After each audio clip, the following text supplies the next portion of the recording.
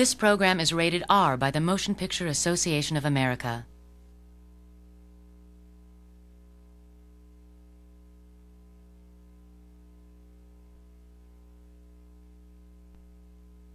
The following motion picture is in letterbox and will be presented in its original theatrical format.